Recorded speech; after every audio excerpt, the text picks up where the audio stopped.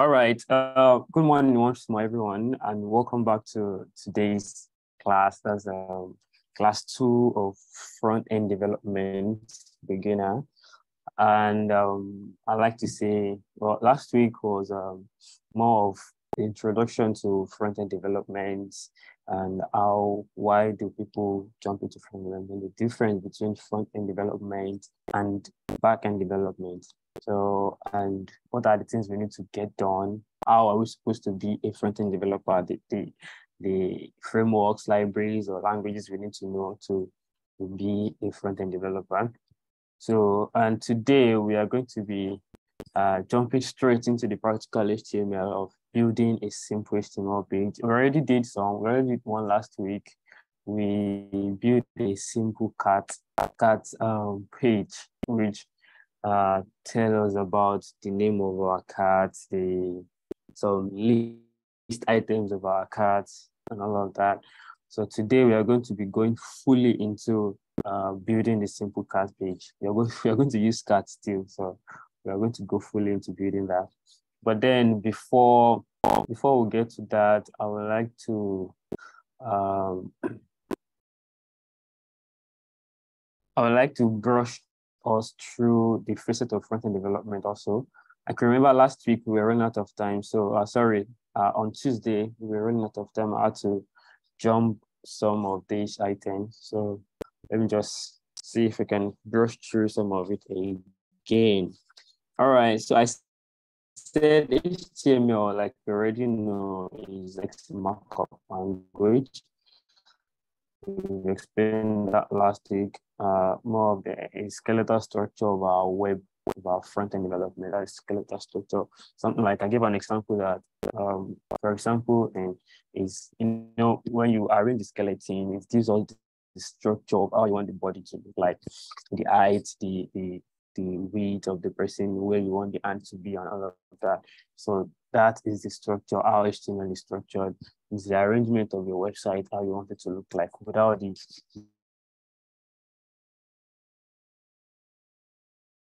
to the body. Now going to start applying uh, styling, color, uh, theme uh, to the web page, to your codes, that's to the body. And, and JavaScript is when you're applying functions. Functions, I mean, when you want the body you're creating to work when you want it to work. So there has to be a function. You write a code to make this body work. Uh, to to to how do I use it in correct language? Mobilize, you know, no. Okay, I think to talk. I've forgotten this Mr. Ninja movement and uh, to move, to respirate, to all those Mr. Ninja stuff. So that's what we do with JavaScript. To write code to make all of these things functional. So the same thing is applicable to web development. When you write your code, you write the structure of your code, you style it, and then use the JavaScript to give it the function. How do you want it to be? So the responsive design is, um, like I explained last week also, how uh, uh, to make your web responsive on both mobile and desktop. Make it responsive on both mobile and desktop. What I mean by responsive is okay when you have, for example, you have a white screen on your desktop, which is very big. When you have the same size on your mobile, maybe too big. So you have to find a way to ensure that your website, if it is looking really nice and presentable and accessible on desktop, you have to make it also presentable and accessible on mobile on tablet. If you notice some websites, when you visit them on desktop, there is no um, a menu bar like a nav, a nav drop down. But so the, the, the navigation is mostly displayed on the screen, mostly at the top of the page. But for the for the uh, purpose of uh, responsiveness on mobile, the navigation is mostly hidden inside a menu bar, whereby you have to click on a menu to to to to to see some of this navigation. That's just a way of achieving responsiveness on mobile. Because if you leave those navigation out there like that, it's going to be too long for your mobile to display. So best is to hide it and make it visible in, in, in a drop down. So that's just there. There are different ways, uh, different approach to responsive design based on however you want to. A UI UX designer has made it um design. So that's responsive design. Then the front end frameworks and library. We said that last week, uh, last Tuesday also. Is uh, the React, the um, Angular. We have some libraries have some frameworks for CSS also. We have Bootstrap, we have Tailwind, we have JavaScript library, we have React, and Angular, so these are the front uh, the frameworks and the library. Then library um, tools you use that enables or allows you to be able to use your uh, to, to write your code easily. It helps you to write your code easily instead of maybe you need a calendar instead of writing the calendar in full yourself. Then you just go to the library and then check the documentation and then do some input and all of those. Then easily have a calendar and your code without writing the code. Okay, so that's just what libraries are meant for. And framework also helps you in achieving what you are supposed to achieve time writing JavaScript and HTML alone helps you to achieve it in a very short time. Version control is um it, it helps you manage your code, manage your uh, code, it helps you uh, uh, like collaborate, helps you track your code changes, and then enable collaboration and version management. I, I gave an example last week as GitHub, uh, GitHub, which allows you to collaborate with someone who is not around you, someone who is, uh, for example, in a remote area, and then you need to collaborate. You're in Nigeria, you need to collaborate with someone who is in who is in Canada or who is in um, Cameroon or stuff. So you can easily using using Git, GitHub as an example of version control. You can easily communicate with this person, collaborate with this person, and you work together with the person. It helps you manage your code. Helps you track your code changes. What okay, what I did yesterday, what I have done today. That's version control. And we are, we will get to we'll introduce more of GitHub to ourselves. Say maybe uh, week week two or week three. So now we get to understand better what version control is all about. So then the browser developer tool, I think I explained that last week, uh, last Tuesday also. It helps you to debug, to test your code and debug. More is is more like the testing and debugging, but testing and debugging is is I would say an instance. Okay, so why the browser developer tool is just a tool that allows you, it enables you to, to write, to run this testing and debugging. The browser developer tool is located on your browser. Uh, if you're using Safari, just right click and click on inspect. If you're using, um, okay, see the inspect is even here, just right click and click on inspect. If you're using, um, uh, say Chrome, let me give you an example here uh, and just open a new tab and then let me inspect here. Okay, so this is a browser developer tool which enables you to check the change uh, to debug. If you are having any issue on your code, you can easily come here and see what the problem is. You can see the styling, you can disable some styling, disable some styling here. We are not we are not going to styling yet because we are still on HTML, but this allows you to to see your code, to, to debug it, to test, see what is wrong with my code. But then we'll explain more on this moving forward also. So um, then the web performance optimization, one of the one of the uh, major things we need to take into uh, we need to take very serious as a web developer or front-end developer is how our website is performing uh, the optimization of our website. You don't want to create a website, build a website, and then you send it to someone, and it takes about say 10 minutes before the website even opens, or maybe uh, it's, it's maybe you click on something and then it's, it's misbehaving or taking a very longer time or just like that. You have to make your website optimal. You have to optimize the the uh, the performance of your website. Make it optimized. All right. So and there are tools, there are ways in, in which you check for the performance of your website, for the efficiency of how you write your code.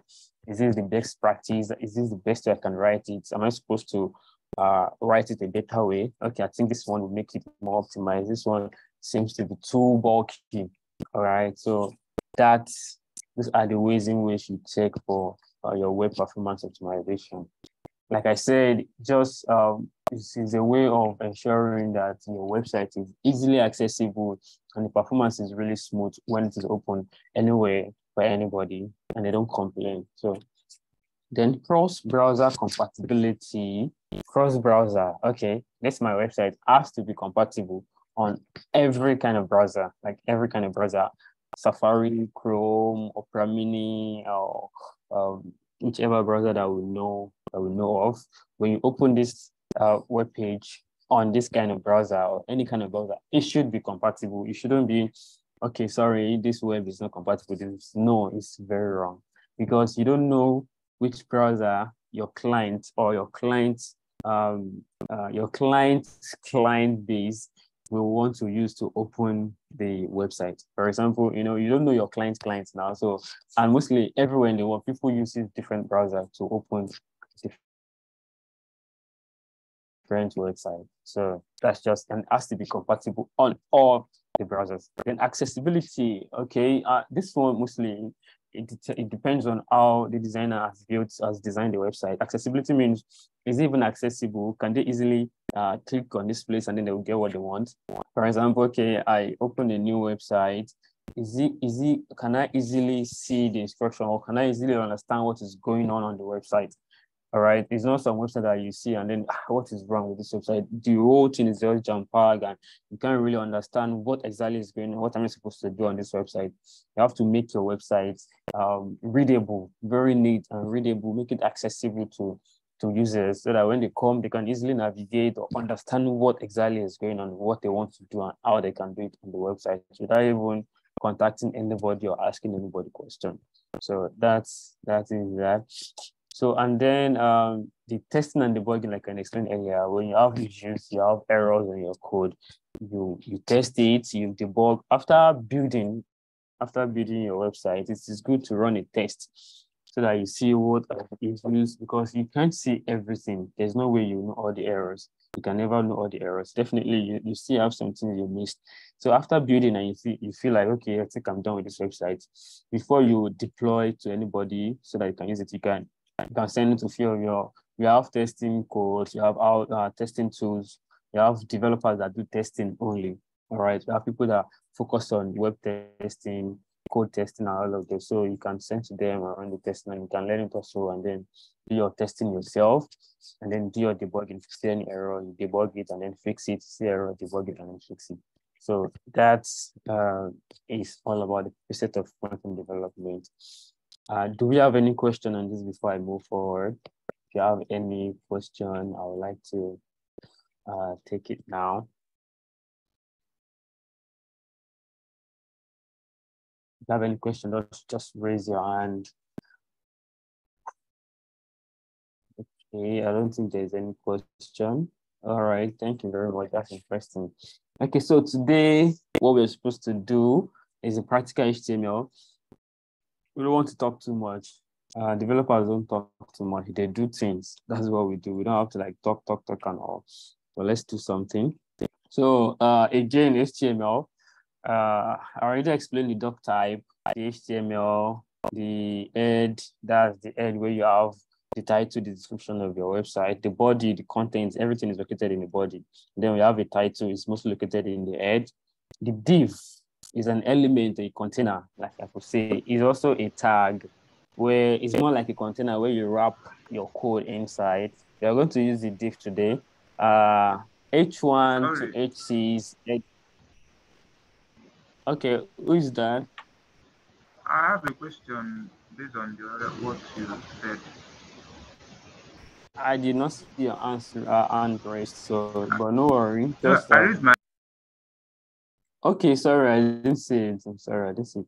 Okay, go on. Let me ask a question, please.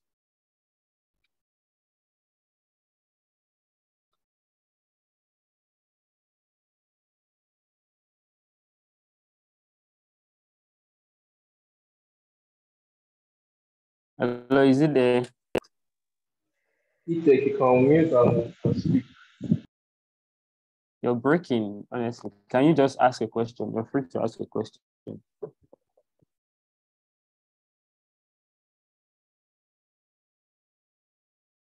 Okay, I think your network is really bad because I can't hear you at all. So um, we'll have to continue. You can drop your question on the chat. Um, Femi will be there. Is there already to attend to your questions? Okay, because I can't hear you at all. Sorry. All right, so moving on, H1 to H2 is explained last um, Tuesday, heading from 1 to 6. So the paragraph, the ordered list, the unordered list, the list items, the anchor tag. We did not mention that last week. I believe most of us must have read about these things from the uh, recommendation I made. So we have the A as the anchor tag, the div as a container, div element as a container. On um, okay, so now this we're going to build a cat photo app with uh last week we just built a, a text uh a cat text app. So today we're going to include photo links on on the application, on the page, on the HTML code that we write. So um we already explained on how to install Visual Studio Code on our system.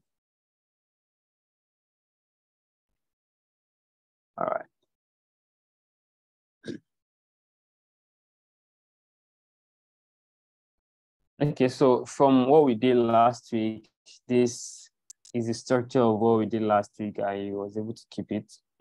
So, okay, let me just brush through the VS Code again. I won't waste much time on that.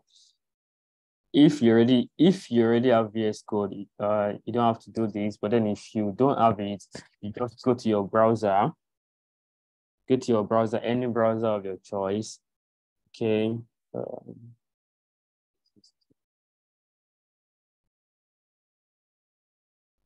any browser of your choice, then search for VS Code. It's as simple as that because VS Code is used by almost everybody. VS Code, you see, the browser can easily locate it for you. Then you click on the download yeah, you can either open it if you don't want to go straight to download, but it's still the same thing. Just click on download here, and then it opens this page for you. And then you can, if you're using Windows, you can download this Windows 10 or Windows 11. It's supported by Windows 10 and Windows 11.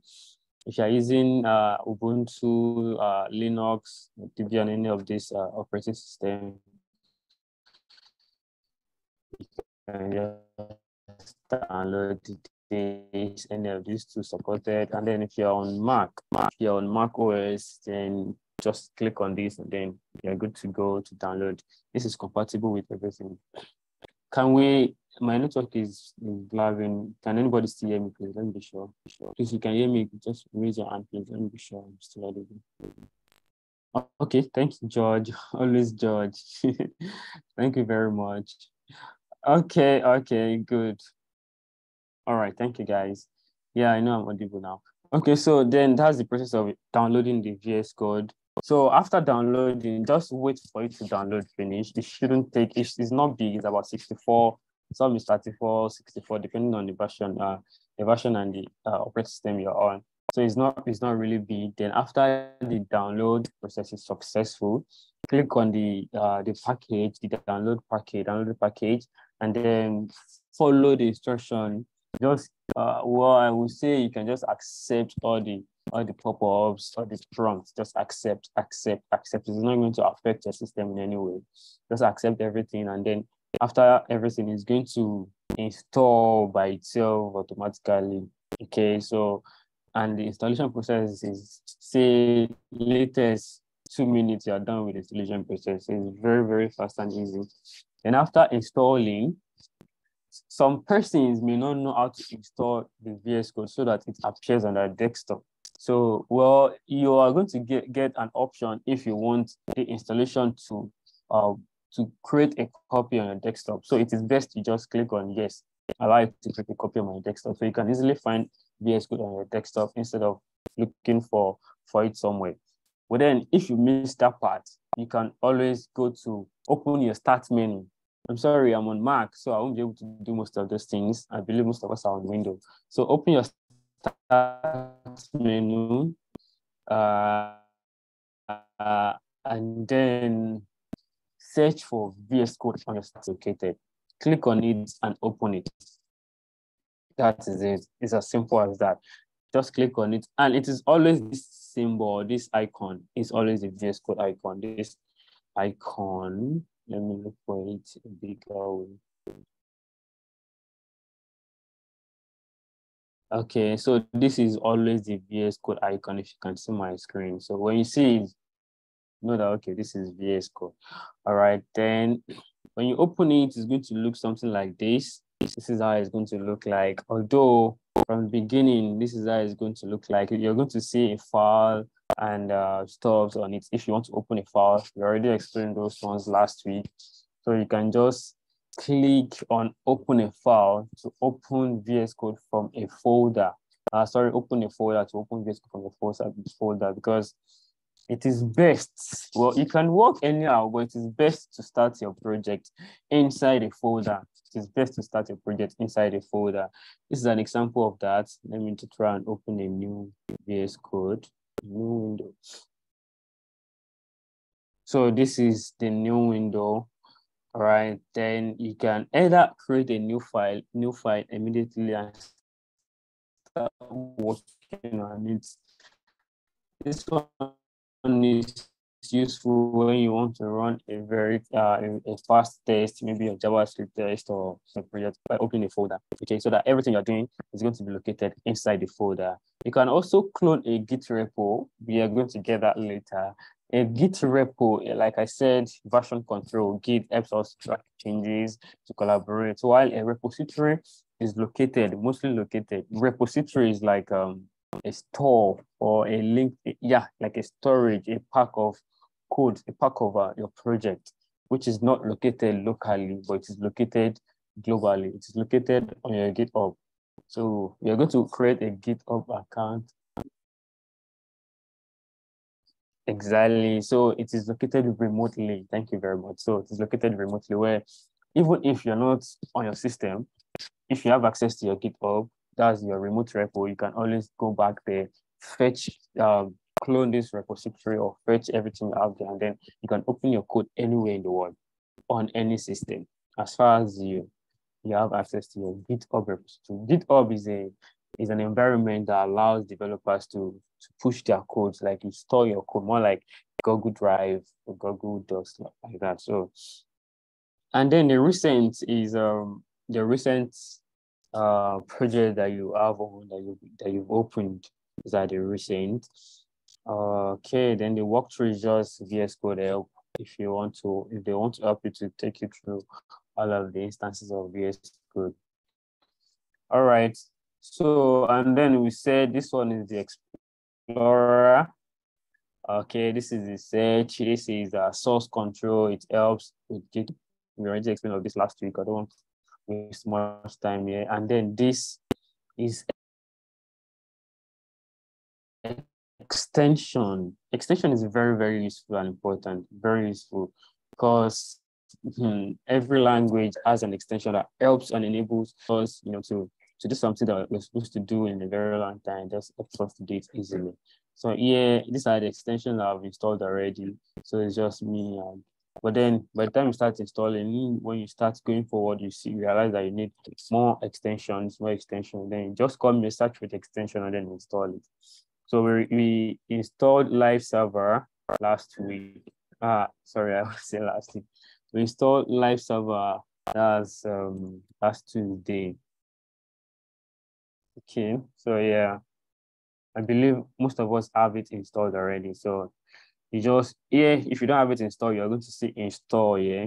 Just click on it, wait for like two or three minutes for you to install, and then you're ready to go. Okay, so that's that about it. Okay, I said this place also is an account. You can create an account, all right, sync your account maybe to your GitHub account or whichever account you want to create.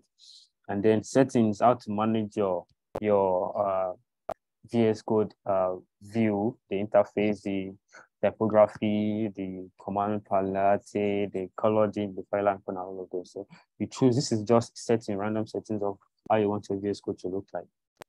Okay, so uh, going back to where we were.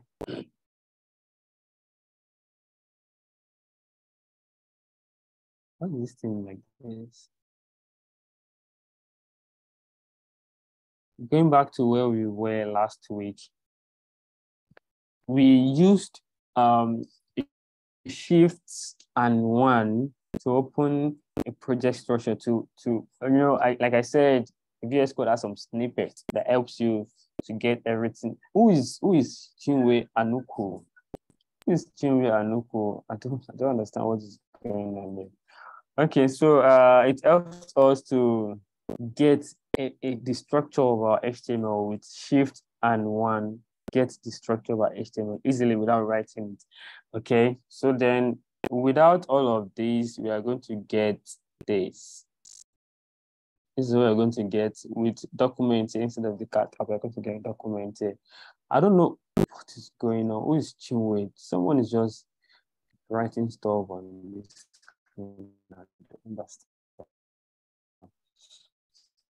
Okay. So, um, then the document type, this is what we're going to see. You have a document documental language. After, if you notice the document type, type, you the document type is, if you notice, the document type is a self-closing tag. It doesn't, it's not even a self-closing tag. It's just a declaration. So it's not, I won't say, I won't call it a tag. Okay, it's a declaration because it does not, it does not have a, a closing tag at all. Not even a self-closing or a second closing tag. All right, it's just a declaration tag. Well, the second one, the second rule is the HTML. Since we declared, a, a, an attribute and then the value, a language attribute, and then set the value to English. So I'll be working on English. That's just the meaning. And then inside the HTML, HTML has an opening tag and a closing tag. Remember when we explained last uh, last Tuesday, we said some opening tag will have attribute and value. So this is the attribute, and then this is the value. All right. So now inside HTML, we have header, uh, head, and body. The head is where you give the description of how you want your website to behave, how you want it to behave, right? Then the title. So I explained the meta charset. The UTF is, is an encoding that allows your code or your HTML or your project to translate whatever you're writing to a, a bit because that's that's computer science stuff you're writing on a bit eight or something like that. So with the help of charset UTF, although without it, you can still write a code, all right? But then moving forward, you need to have a, a, a standard structure of the HTML templates uh, like this, all right? So the charset UTF8 is a unified transformation format, all right? That's specifying, okay, this is the type of format I want my code to be written as, okay? So it's, it's how to translate the code you have because, you know, you have JavaScript that are written in languages. Sorry, minute, please.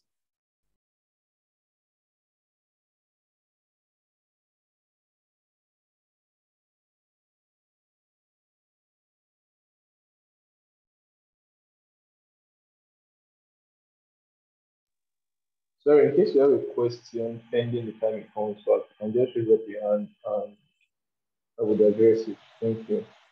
Don't unmute. Raise up your hand and I would answer your question.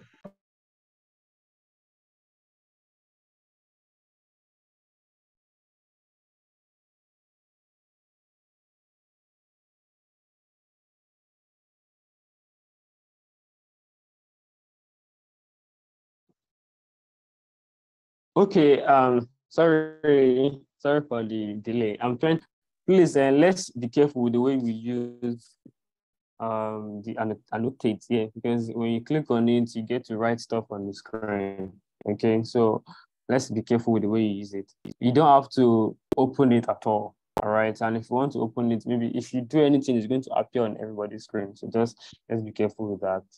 All right. Um, okay, so I explained the UTF how the code is being translated to a readable code you know, what we are doing is just to write code. And then how is it translated for the computer to know, okay, translate this into this kind of uh, uh, code then that's what we specified. Although mostly these days, those things are not really necessary because there's, there's been an advance, advancement that the browser automatically translates by itself. All right, so then the second one is uh, compatibility. Uh, you know, uh, mostly people use Internet Explorer before we have all of these different browsers. People use Internet Explorer browse to visit websites. So the second one is align the website to be compatible. This this this my project now. This website should be compatible on Edge, the latest version of Internet Explorer, latest version of Internet Explorer. That's just the meaning. Although it doesn't stop uh, Mozilla from working, doesn't stop um, Explorer um, Chrome from working because there's been an advancement. And like I said, most of these browsers understand and have been able to make sure their browser is compatible with all of any kind of website that's coming. Then the third one is the viewport. The viewport, I said it last year, uh, last Tuesday that the device with how you want this thing to look on your device. Device is our mobile phone, our laptop, okay, our mobile phone, and the width is the size of the screen, okay. So then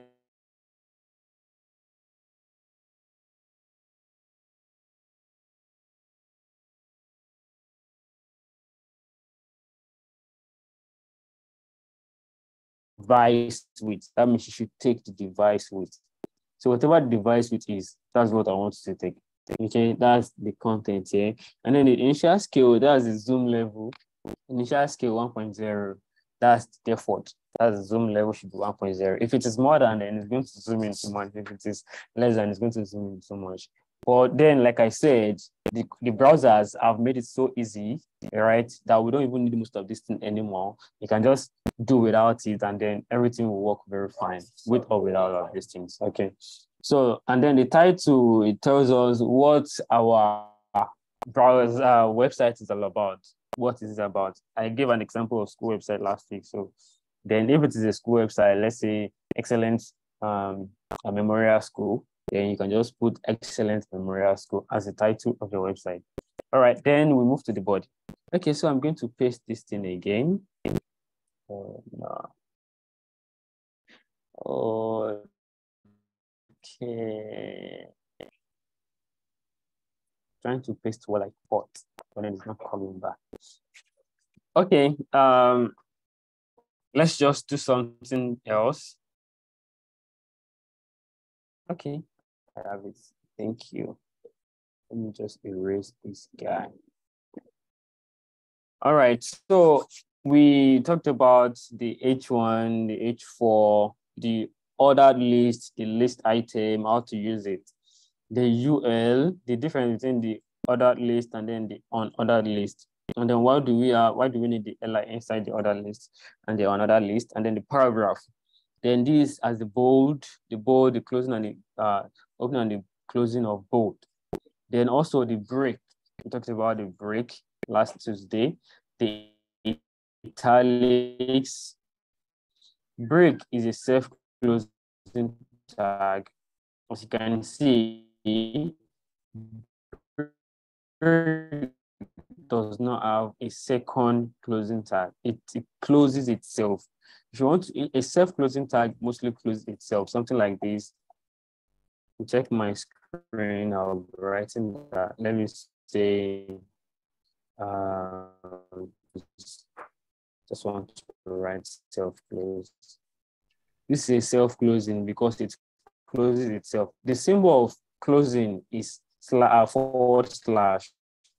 For example, if I want to say, okay, to like just second close, you can just say self.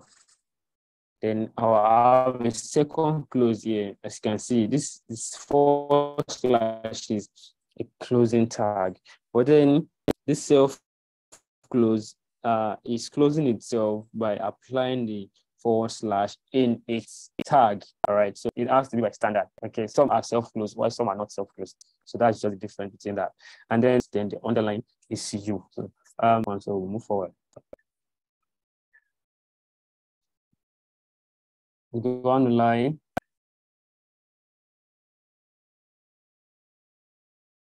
Okay, I don't think it's available anymore. All right. So, uh, like we did last week, we uh, like we did last week, we opened our VS code, our code from a browser by right clicking on the screen. By right clicking on the screen, live server, just click on it, and then it's going to open your your code on the live server, as you can see here. So this is what we did last week, my card, about my card, the other list name, Brisbane, color, and numlex. And then the location, that's the another list, which is the bullet. Then the bold, history of my, sorry, the H4 still. Then we use cat. If you notice, this cat is also bold. Cat is a very cute card. That's because we applied a bold tag. Then because we applied an underline, while the you can touch my card, we applied an italic. And here, after the sound, we applied a break for our content to jump to the next line. So um, today we are going to, hope you can all see my screen. We are going to uh, jump into uh, um, images, how to apply image, how to apply. Okay, before I move forward, please, do we have any question? let me know we are, let me know we're on the same page before I go to the next uh, thing. I'm going to introduce few more tags today, the image, the form, form element, the image, and then the link. That's the anchor tag. Okay, David Dose, please uh, unmute, unmute yourself and ask a question.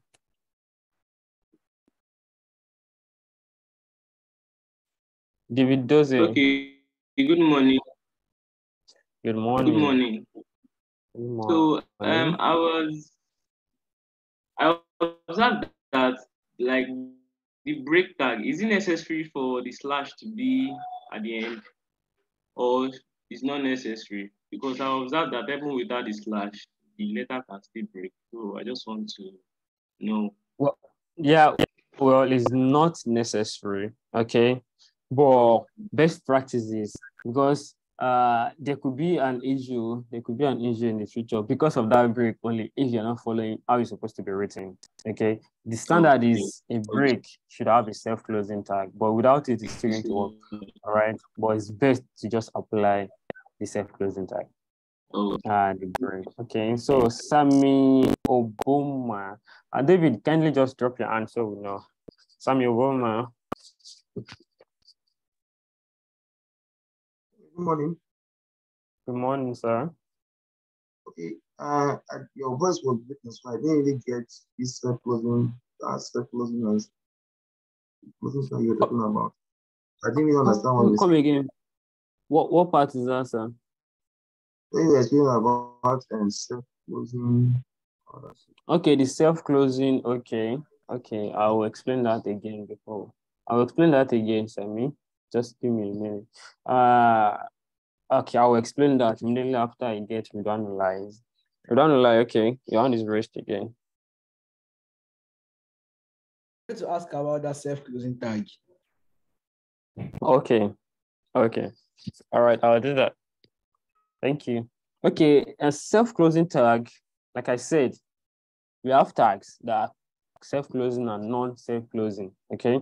And if you notice, what we have been using since is, is a non uh, self-closing, like the OL, this is the opening tag, and then this is the closing tag for uh, OL.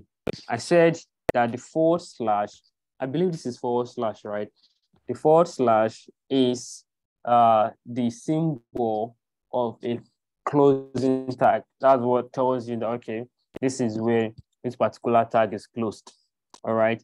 So, and in a situation where, okay, let me just give an example. Let's say um, label. You're just joining in with Zoom. Please kindly rename yourself, change your name to your name. So we don't see the Zoom user something, something. Okay, so label. This is an example of a tag, a label, all right? And then we have the opening and the closing here.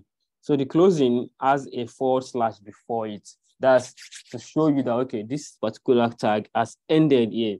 You can have millions of things here. You can have thousands of things in between of these things, but everything is still inside the label as far as we've not gotten to this closing label tag. Okay, so everything is still within the label. So this specifies that, okay, this particular label has been closed with the forward slash. That's because it is not a non uh, self-closing tag. All right, it's not a non-self-closing tag. While a self-closing tag, uh, okay, a self-closing tag could be, uh, let me look for a self-closing image. An image, an image could be a self-closing tag like this. This one will work with or without. It's, it's not even going to work like this when you have a closing tag for it. It's not going to work like this. Say, okay, now have inside because this is supposed to be a self-closing tag. All right. So you see it's throwing error because that's not how it's supposed to be. Okay. So image is a self-closing tag. Um, it's because they close itself. Like I said, the forward slash is a symbol of the tag, of the tag element. Then that means that is the closing tag. The end of it like this means this particular tag is a self-closing tag.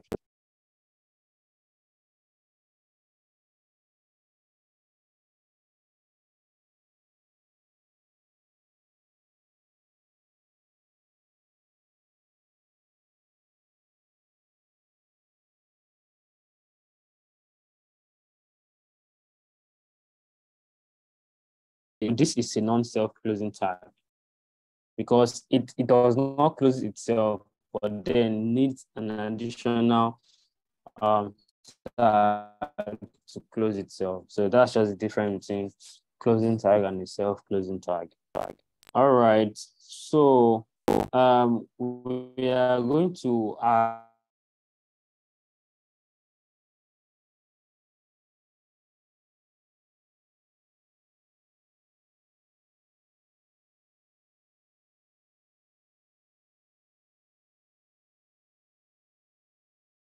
uh, page, we have the, the relative image and then the absolute image. The absolute image and the image, just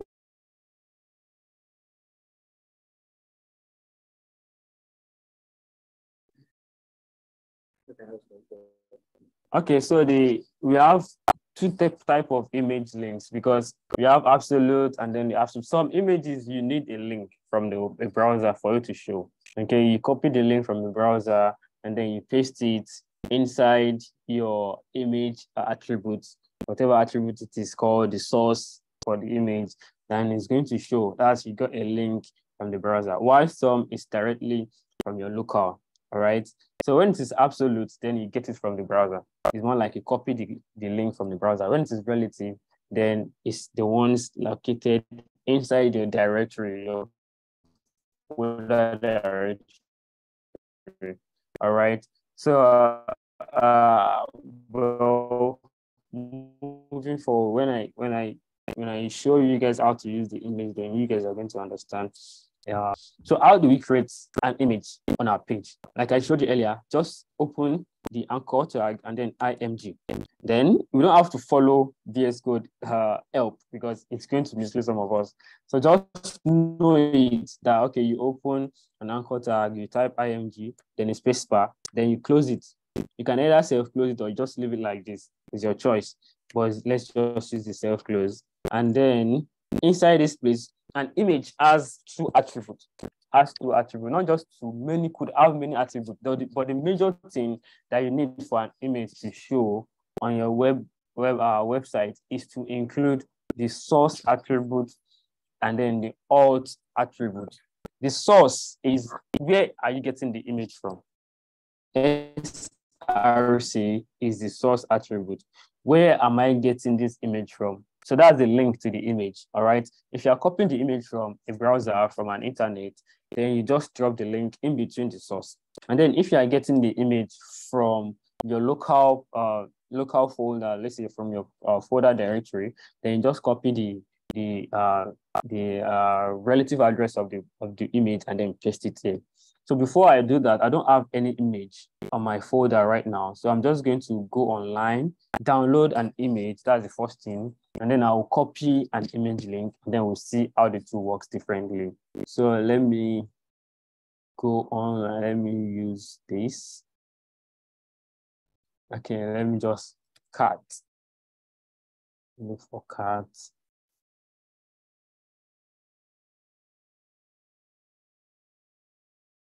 Says she's this fine cat.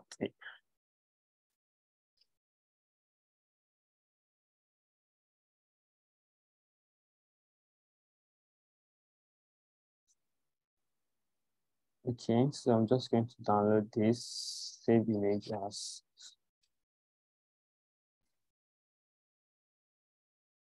network is very bad. So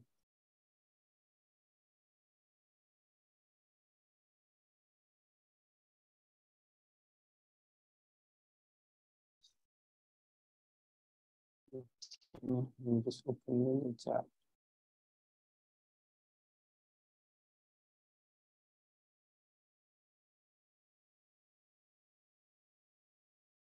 Okay, I think this image cannot be downloaded. I don't know why. So let me just copy the link first. All right, let's use this this one as a link. Uh, uh, let me go here and paste it here.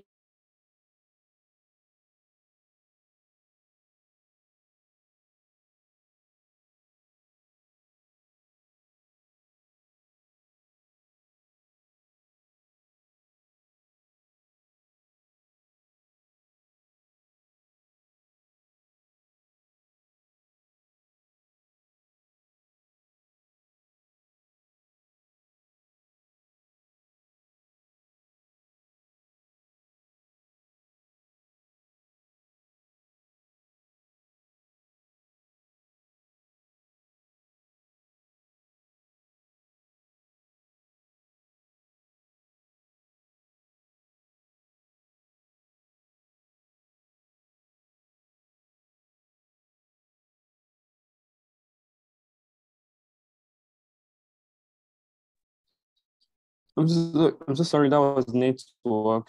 So I said after including, after adding the, so, uh, the source, that means the link where you get the image from to the IMG, okay? Then you can add an alternative attribute also. Alternative is what should appear in case there is net bad network and then this image cannot load, load on time. So I can just say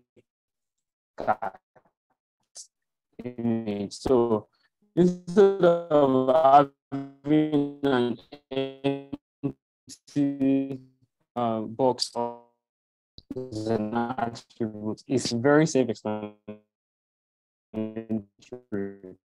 SRC is the source of the image. We are getting the image from.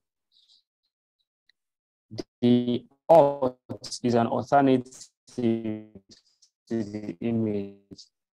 Okay. The image is not showing then what should be what should display what should appear all right so and then the width is the size of the image. How do you okay i want it to be we use uh, uh pixels. Yeah we use pixels. All right so in in program in HTML we use pixels in um, CSS sometimes also we use page. But let's go on with pixels for now. And then the height of the image. Say I want 100 pixels also 100 pixels also. So let me save. And then view. Okay so if I should view now okay as you can see on my screen now I have the image my screen. All right, this is the cat image, the one that I copied the link online. And trust me, if you are copying from online, okay, you have to be connected to be able to view it. That's just disadvantage of copying an absolute URL from the internet. You have to be connected to be able Sorry, to view it. so- All right. sorry And the size, okay. Yeah, yeah. Your, your screen is not showing. We're just seeing your code. Screen is not showing, like the implemented work is not showing on your screen. We're just displaying Okay. Code alone. Okay, let me let me do that again. Can you see my screen now? Can you see the browser? Yes, the browser, I see the browser now. Thank you. Okay, okay, thank you very much. Sorry, I didn't notice that on time. All right. Okay, now the image that I added just now here. So that's what I can see now. The width specify how I want it to size that I want it to be on my browser, on my website. So let me say I want the width to be 200 now, then the height 100, then I save. Then it's going to get longer. Just you can decide how you want it to be from your end. Okay, Sammy, Sammy, Sammy, Sammy, Obama, please sharp, sharp, ask your questions. Sammy, unmute yourself and ask a question.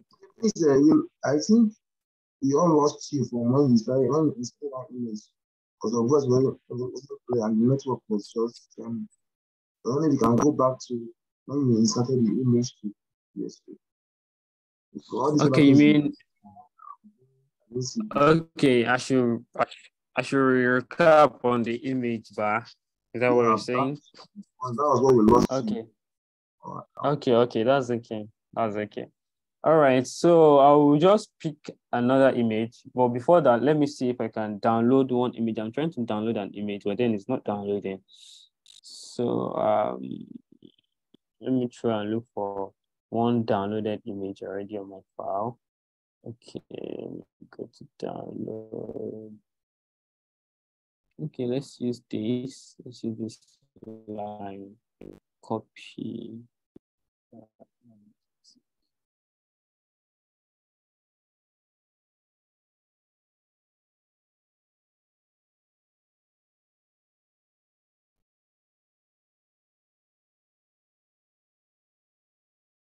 Okay, so this this thing I'm doing right now is just I, for example, let's say you you have an image on your desktop or maybe on your computer already.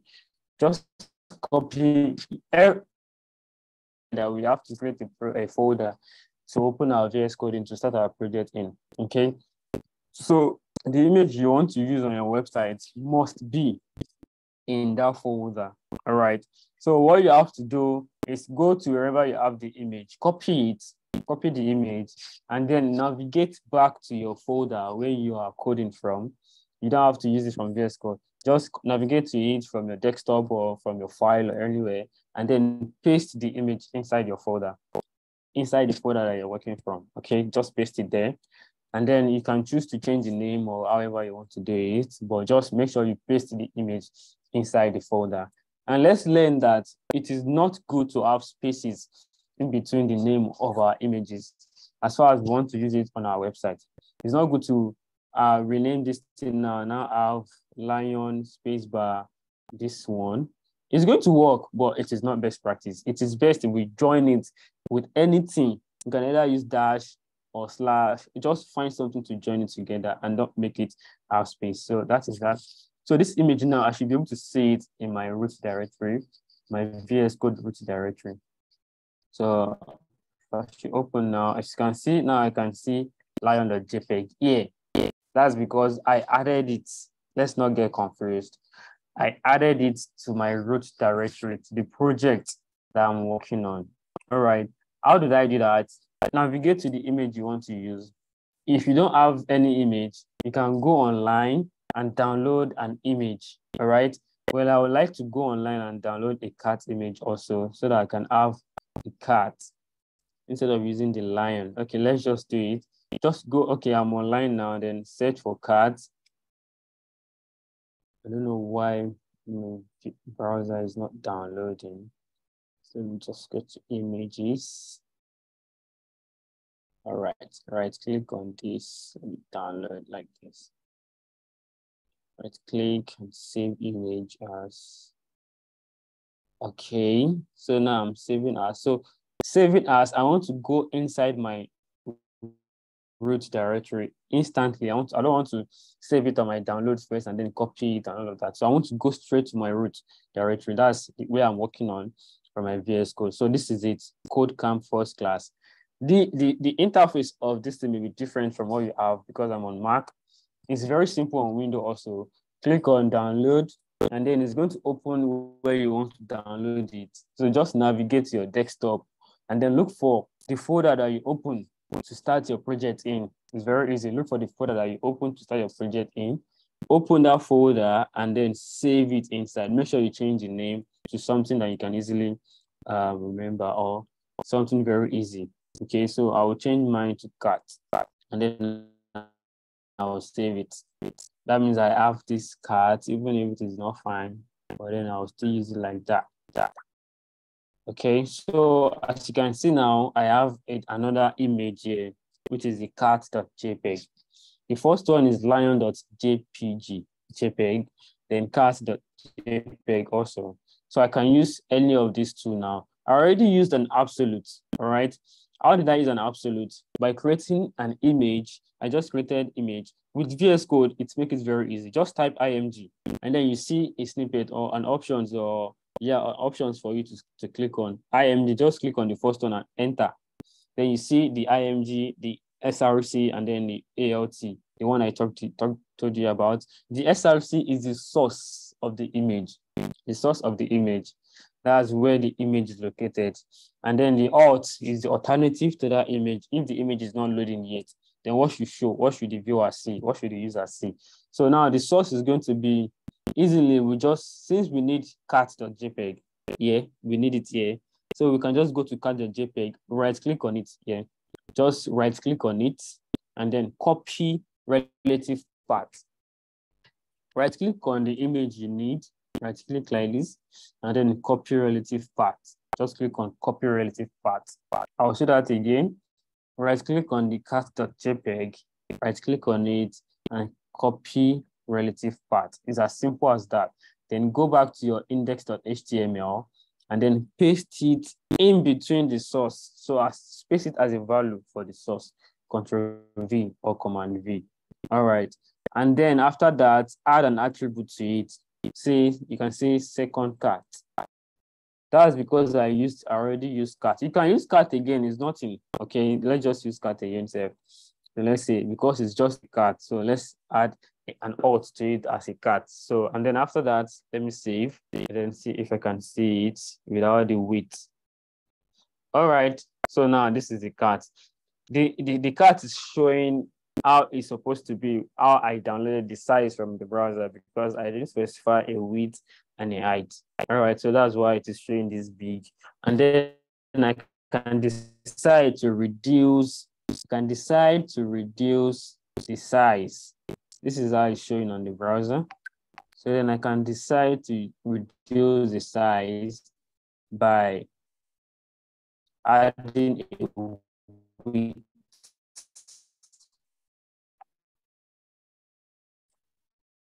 WDT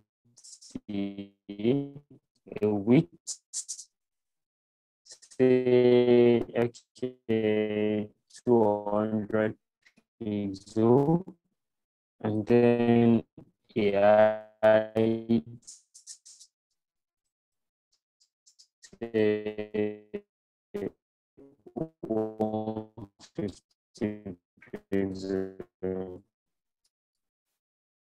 just anything. You can choose to to give it anything on choice. And then I'll save right click on it like this, just right click, and then copy relative IMG tag. Inside the source SRC, in between the SRC, right, uh, control V, just control and V, that's to paste whatever you copy inside it, all right? And then add an alternative. Without the alt, it's going to work fine. But it's best to do all of these things, like like we said earlier, for accessibility.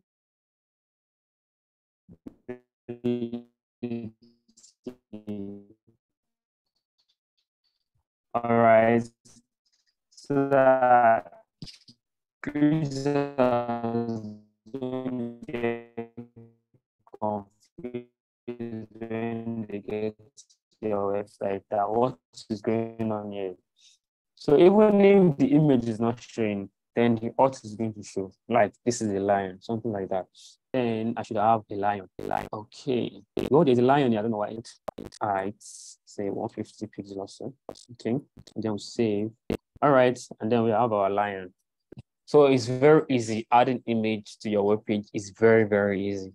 There are millions of ways in adding image, but for now, HTML, this is the way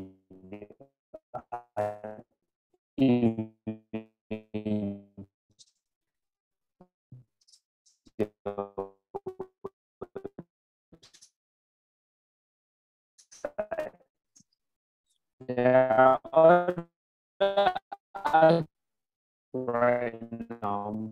Before that, let me just read to to raise your hand now before we move into the next thing. I want us to touch the image, the anchor tag, and so let's just and it's just 1122. It's 11. Any question, please? Any questions, please? Let's let's move forward. So that means we are all clear on I how think Ayo to Akemi, include or add, add image to our website. Fine, that's interesting. All right, moving forward. Okay, Aya Kenny. Sorry, I didn't see it. All right, Sammy. Okay, Aya Kenny, please your question. Commit yourself and ask a question. Um, I sh- the image, the image uh, tag. I don't know why Yes. you you the slash. Is it compulsory to close? It doesn't have a ending tag. Like, what if I type um less than image and close close and to close the tag? I don't know. You are putting a uh, slash. Is it really necessary at the back?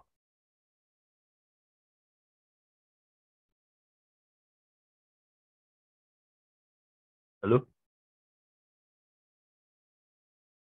Hello. Can you hear me? Hello. Can you hear me?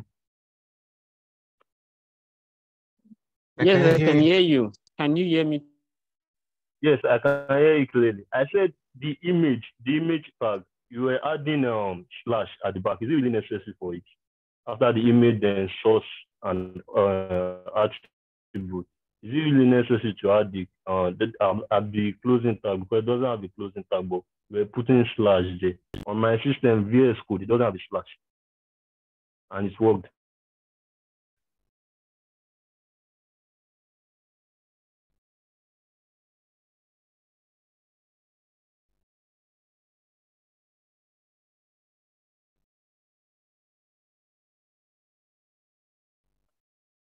Hello.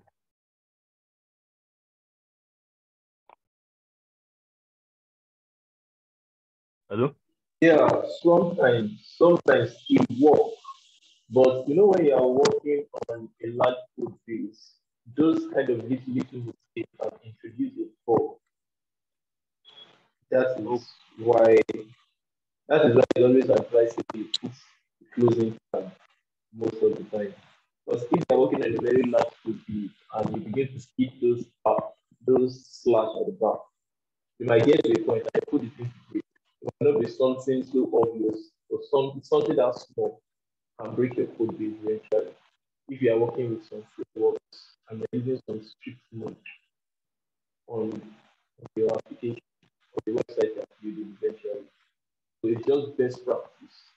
You put the password every time you're writing. Hope you understand. Yes. Thank you very much. Uh, does anybody have another question? Anybody? Just just um, raise up your hand and I will ask a question. I will answer your question. What is it? It's still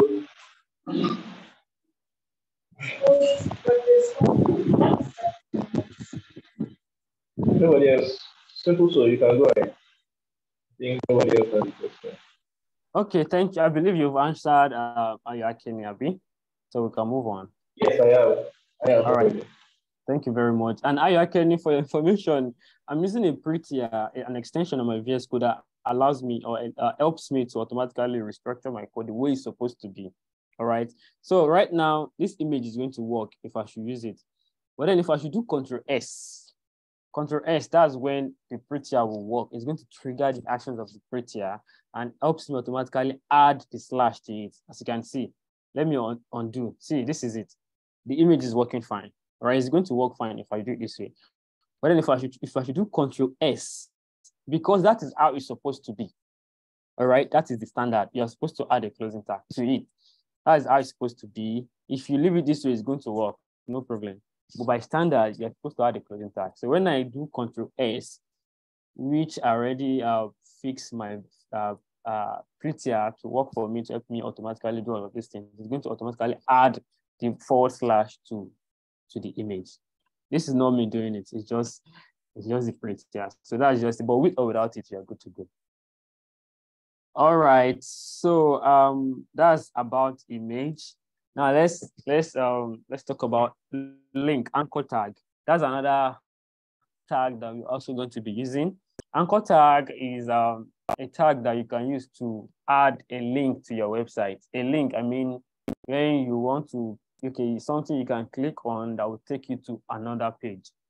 You need to you click on it to take you to another page or reference you to another another part of your image. Ah, sorry, another part of your your website.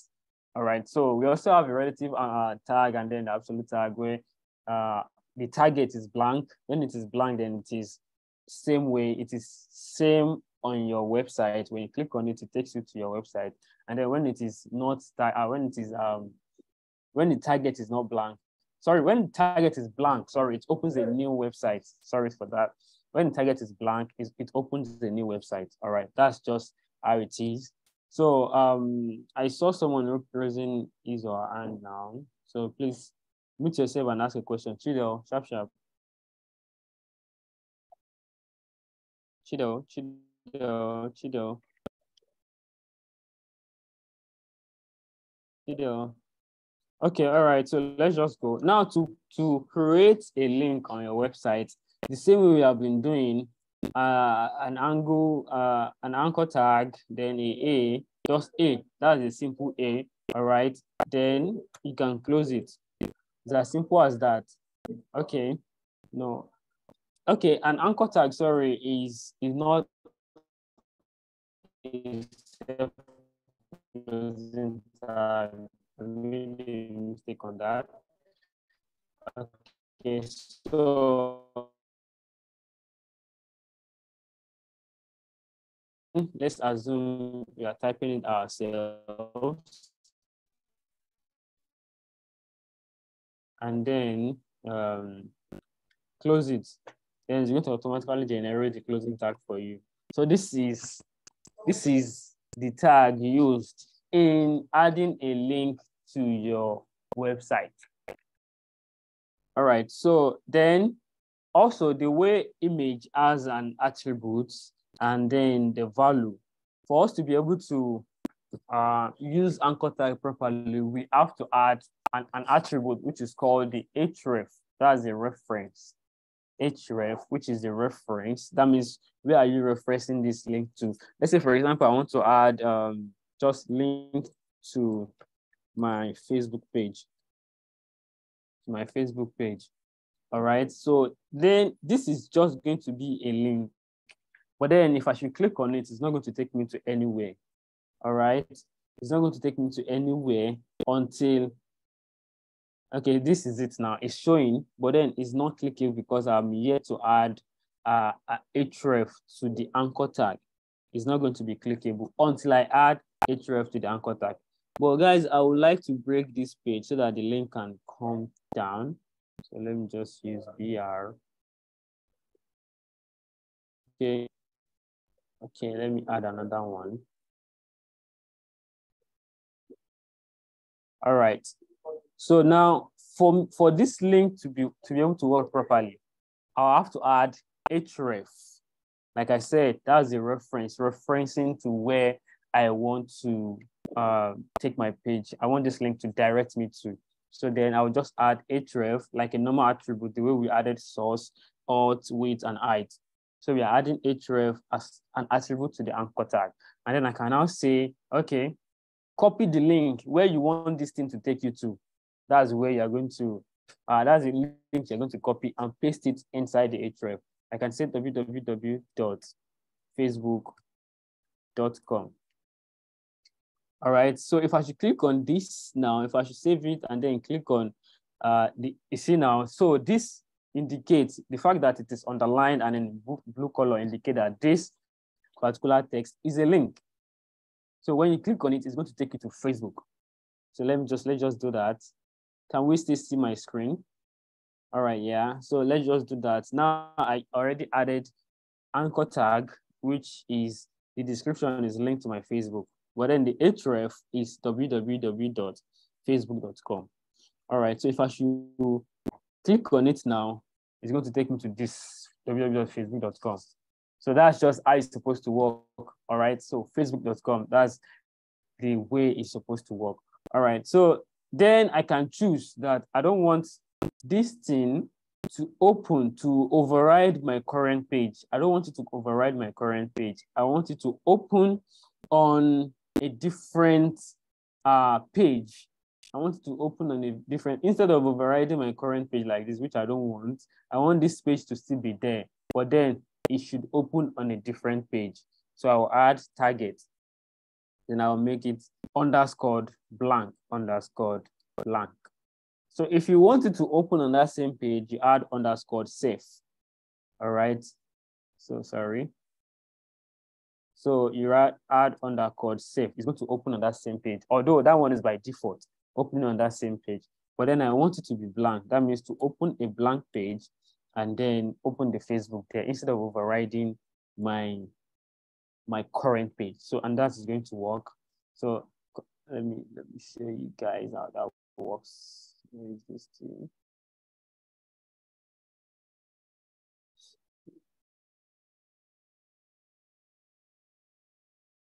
Okay. I'll expect this to. Hmm.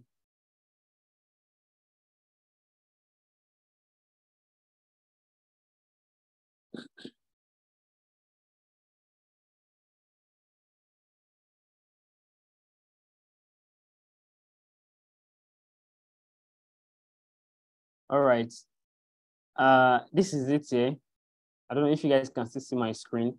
So uh, there's a way uh, Safari works that very confusing. So I don't want to get confused. I want to get this. So I open, I open the link. Sorry. I open the link on my browser on uh, a Chrome browser. Then when I when I click, this is the, this is normal page, right? This is my main page.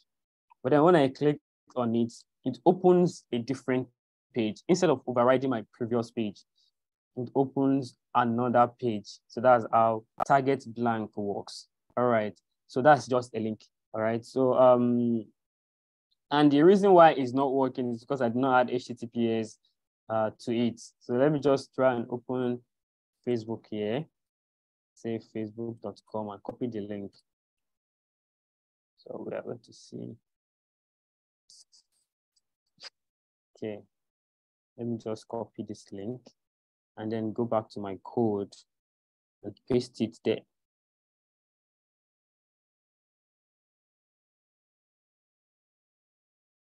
All right, so now if I should save and then go back to, just close this, close this.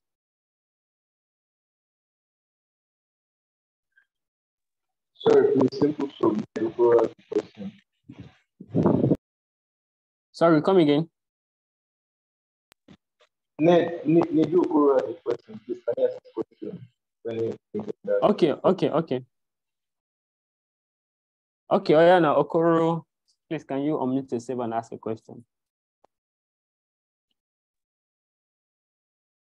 Good afternoon. Good morning. Good morning.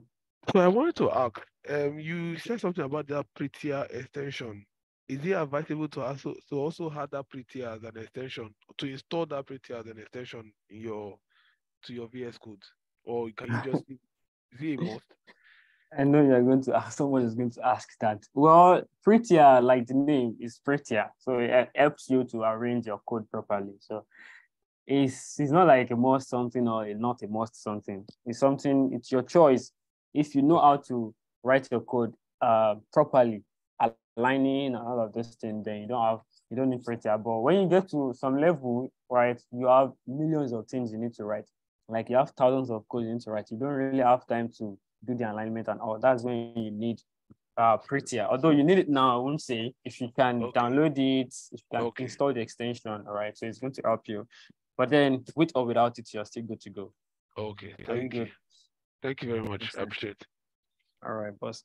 Okay, so I've added, I copied the Facebook link. I had, I had to copy the original link so that I can add it to my code. And then if I should click on this link now, it's going to open a new page and open that Facebook for me. So that is, I don't want you guys to see my Facebook dashboard. All right, so that is how um, link works. So, and you, can, if you see, it's not overriding my current web page. So it's just opening a different blank page and then opening the website, the link on there. So that is link. And then the last thing we are going to talk about today, but before I go forward, let's take questions on this link. The link, what you need for the link, the attribute you need is the href. The target is not is not like so so important depending on, on what you want to do. If you are working on your own page and you have navigation, for example, you have home about um you have a contact or service page and all of that. So you don't really need to use target blank. No, you don't need it.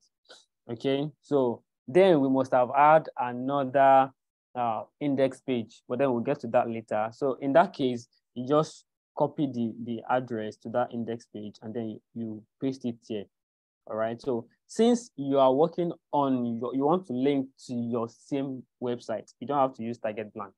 Everything is going to be within your website. So that's how links works. But then when you are, for example, you, you go to contact us and then you want people to visit your Facebook page from the website, okay? Or you want them to visit your Twitter page from the website or an external link that is not your website, it is best, it is best, best practice to include target blank. That means this link should not override my website. Instead, open a blank page and then open the website there. All right, and make sure, do not forget to add the href. Also, there is always a description in between the href, which is what you want to click on that will tell us that will take you to that page. Okay, so and also uh, anchor tag mostly shows itself or indicates itself as an underlined text and a blue color, which tells us that this particular link, uh, this particular text is not just a text, but a link to something. All right, so uh, and and I see and uh, Elijah, this is your question. Okay, thank you, sir. Please, um, I I want you to talk more on that um, target attributes, the different um, attributes of target. So I really need to know more about that. Thank you. Okay, okay. Uh, like I explained earlier, uh, by default, by default, a link will open on the page that you open it from. Like if you do not add any target attribute to it, it's going to open on that same page that you that you are on. For example, let's say on the website that you built, and then you added a link without a target attribute. When you click on the link, it's going to override if it's an new external link on that same page. Okay, that is how uh, an anchor tag works by default. It works by default like that. So um,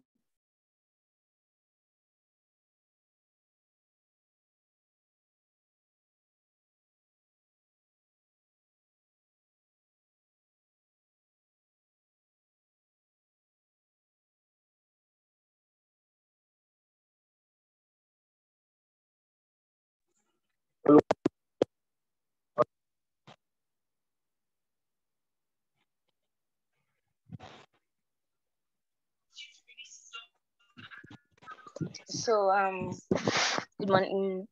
My question is that the part on that Facebook um, can you hear me? Yeah, I can hear you. I can hear you. Sorry, I've not answered that, Hello? but just go on. I'll answer Can you hear me? So um, okay. So my question is that on that Facebook um design part, that Facebook part. So I don't really get the point very well. Like, can you please like elaborate more on it?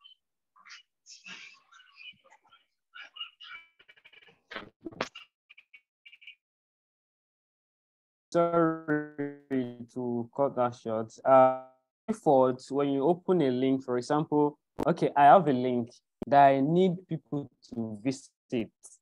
I'll explain it when they come to my website. Okay, but then this link is not my website. It's an external link that I want people to visit. So I just used Facebook as an example. All right. I use Facebook as an example. It could be any website. It could be google.com. It could be yahoomail.com. It could be anything. All right. So you what address to that website. You need the actual address to that website and then copy the actual address. Let's use Google.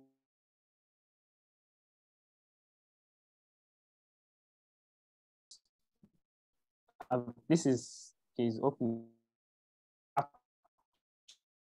actual address.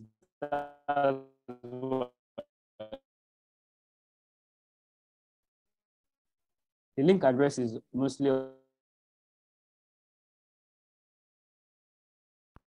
Control A and then copy it. So come back to your, Sorry, uh, simple so. Your code where you have the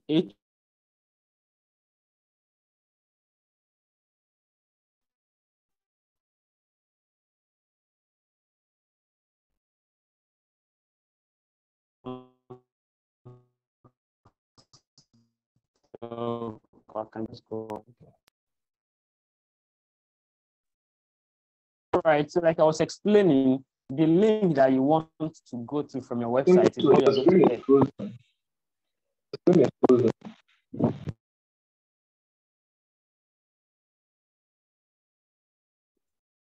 Okay. So, um, sorry, can you guys hear me? Yes, we can hear you.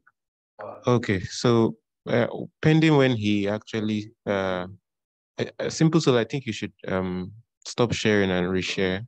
Your screen is frozen. So um just to add to what he was talking about, we have like we have two types of URL. We have um relative URLs and then absolute URL. For relative URLs, those are uh, URLs that are sort of within those ones are within your your folder structure. Say for instance, you want to go to a file that is within your folder, then you use um you use a relative URL. So you just need to do maybe index.html or slash index.h dot slash index dot html. But then if you have if you have to go to an external website, you need to copy the URL for that website, just like he did, HTTPS www whatever the this thing is and put it here. Then if you don't want it to open on the same page, the same um the same tab, you have to put this target blank. So this target blank um takes you to a different tab. I don't know if if that is clear. So sin is that clear? Um, you you still need more explanation on that.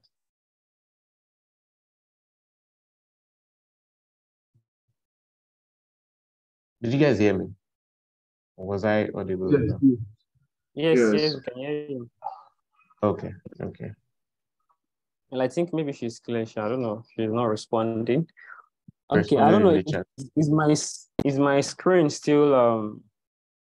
Is it It's okay now? it's fine now. Okay, thank you very much, Mr. Chips. Thank you for your for your little little chips in. All right. So, and okay. So, to answer the first question, I believe the second question has been answered. The first question, we have the blank, which takes you to a different page. We have the safe, which I said earlier that is is by default anchor tag self. And then this safe is that same page is going to override the page. Okay. So it's going to override that's the safe. We don't really need to declare this one if we don't if we want it to open on that same page because it's safe. All right. And then we have top also. We have underscore top. If you want it to open on at the top of the page, like just at the top of the page, let's see as in let's let's take an example of top. Let me go back to my cat app and then click on it. Okay, I believe this is also uh okay, this is also overriding. Yeah, this also varies the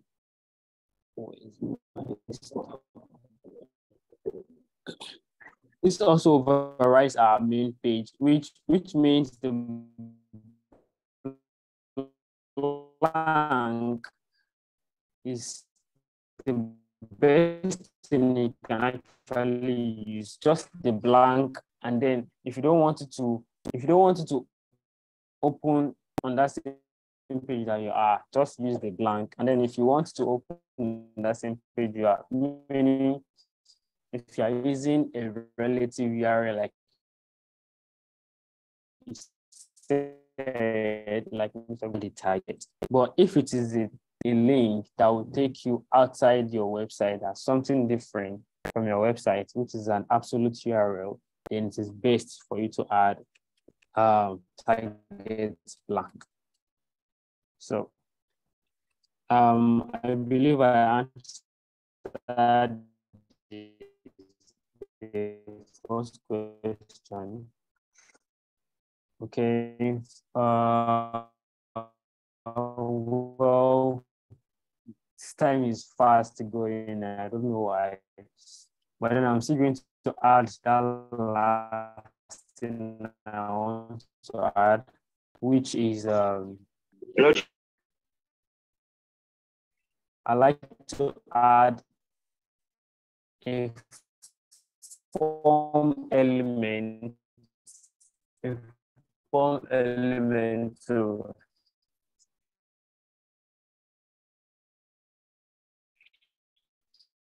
let's let's just uh, down and uh, I'm trying to explain that we have um, the text about my cat and then we have different pictures. I'll remove this lion and then we have these different pictures of um, of cats. We added this one using an image, an absolute uh, URL, and then this is a link, an anchor tag, where it is currently linked to an external external website. So I'll change that Facebook because let's just let's use um, google.com. Okay, google.com is fine. You see, let's say link to Google page. Google. Simple so your network, your voice is breaking.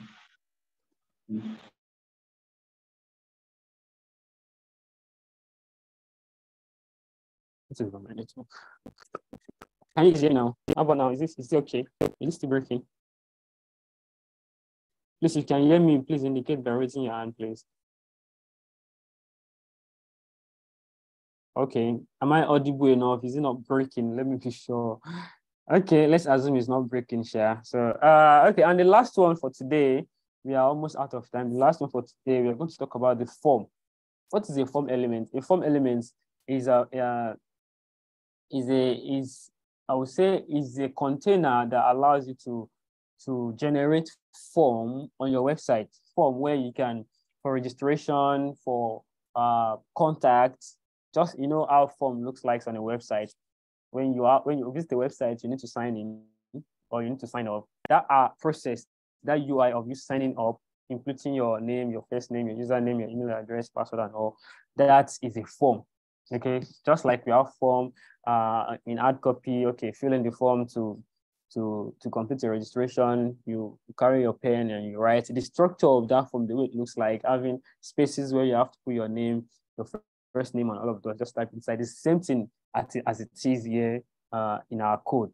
So uh, we are going to we are going to like um, uh, write a code that shows or display that gives us form where we can put in uh, a name, our name, and our email address. Just a very quick one, so we won't go further than that.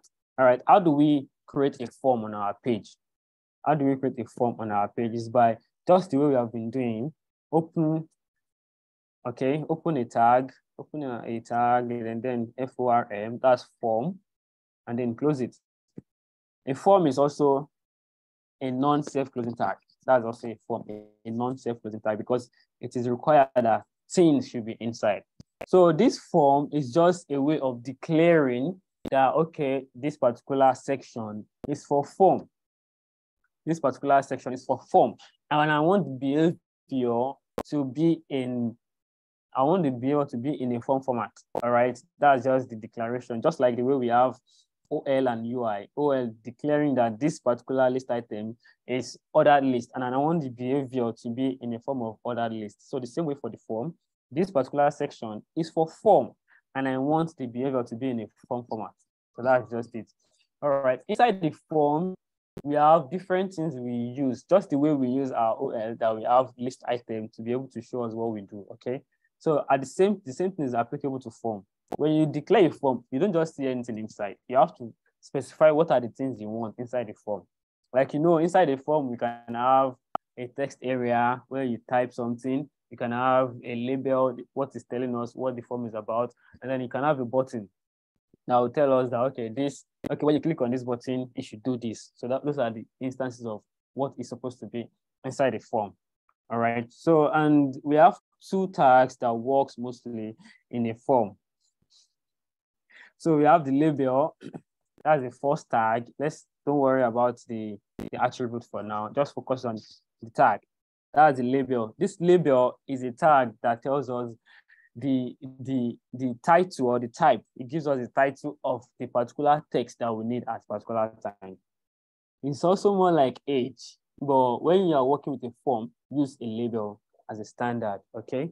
So we have a label and then we have an input. Input. Input. So, okay, let's say in the label now, I want to say my name, first name, first name. So this is just a title, the title, or let's say the declaration. Yeah, a title, that's the best thing to use. The title for the input that is coming next. You know, when you have a form, when you want to fill a form, they'll tell you first name. So under the first name, you have type your first name under, all right? So that, that label, that title is the label that tells you the label of the input that is coming next. That's why we call it a label to the input that is coming. First name, when you get to maybe after you fill in the first name, then the next one you say another label, then you say last name. Then another label, the input, you say email address, just like that. So then the first one is the label, which tell us the type of input that is coming next, what should be put, what should be typed inside the input that is coming next. And then an input. This input is the text area, the text area that we are going to type everything we need to type inside of it. That's what our input is. All right. So input has a very important attribute to pass. The, the label, the attribute is not important. So that's why I deleted it. Okay. But then the input has a very, very important attribute to add to it. So the attribute is the type. What type of input are you, uh, do you want to put into your website? What type of input is this one? Is it a text input? We have different type of inputs. Type. We have the text, we have the email, we have the password, we have submit, we have a phone number, we have telephone, we have a different type of uh, input, all right? Well, for a simple text like a name, it's just a text. A name is just a text, it's not a phone number, okay? So if it is a phone number, then we add a number. If it is a date that we need, then we add a date.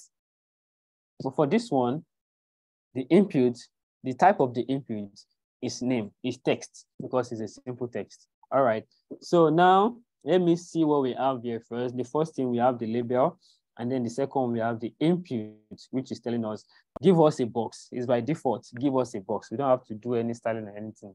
Give us a box where we can type our first name. So now let me save this and then see what we have.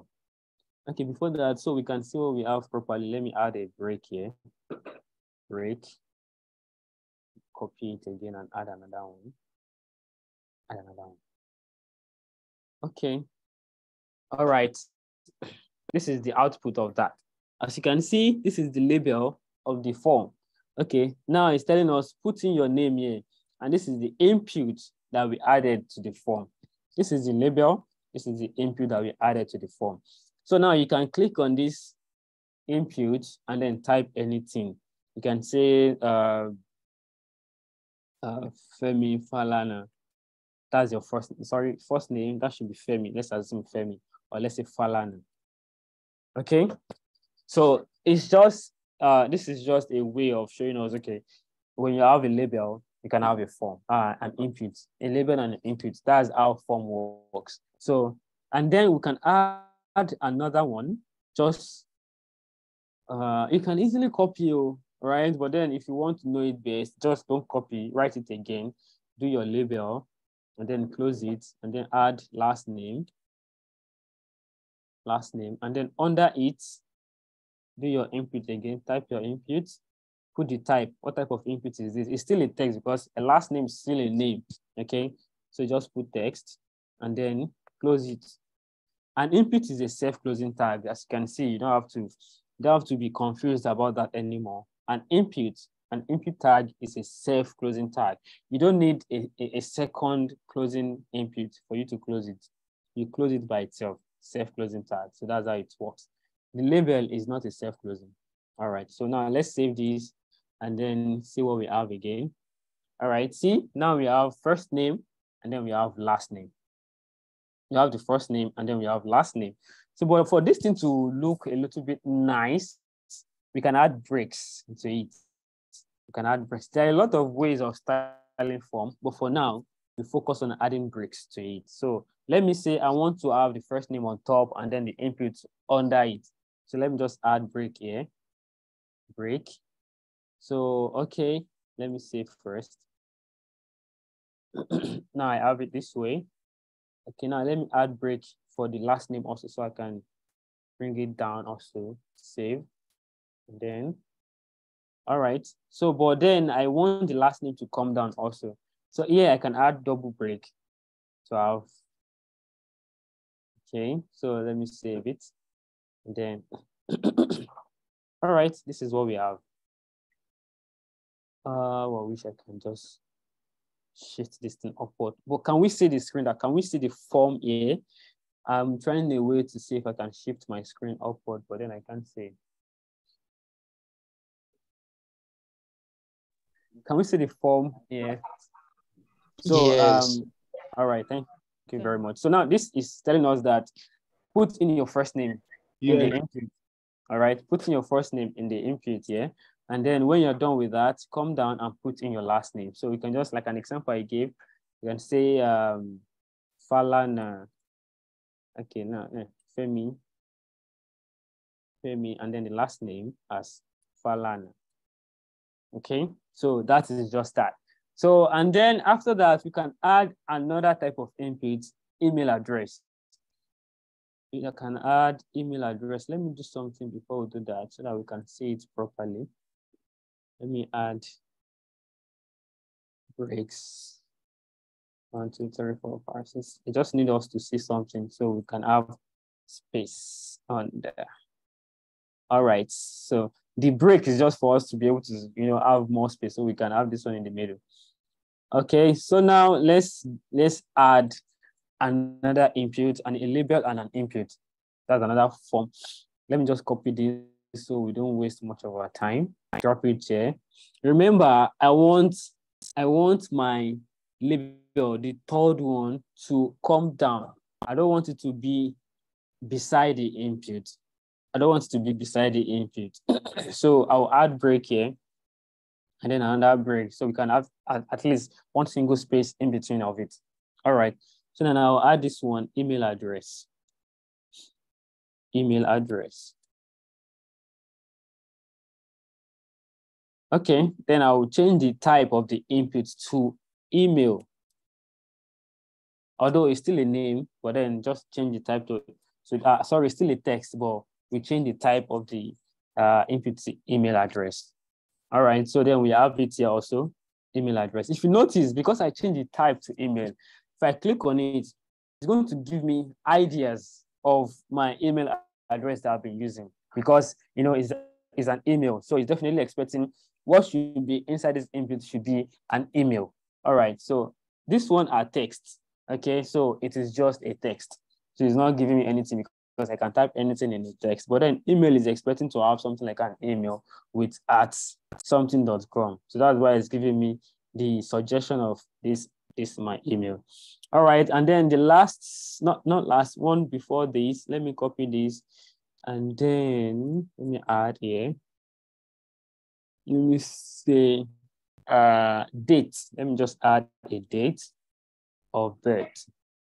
Let me say date of birth, date of birth, for example. And then here the type will now be date. Type of the input will be date.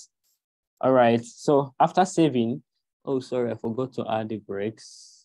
Let me add this break, copy, and then paste it here, save. And then, yeah, we have an of date.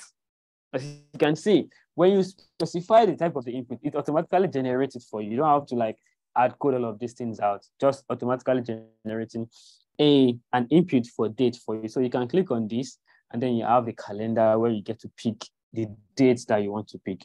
So that's the beauty of having a form and the use of inputs and label. So now the last thing we are going to add again is, I hope we are following, right?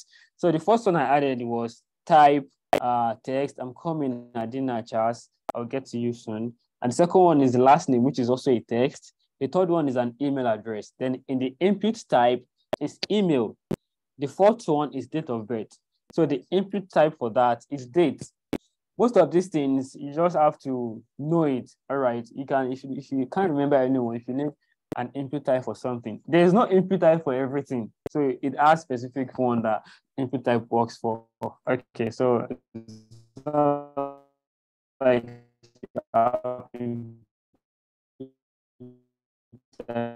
for everything in the world.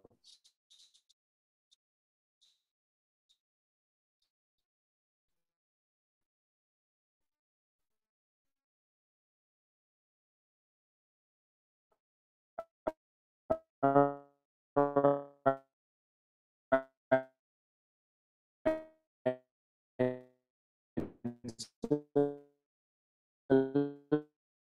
network is breaking. Simple so.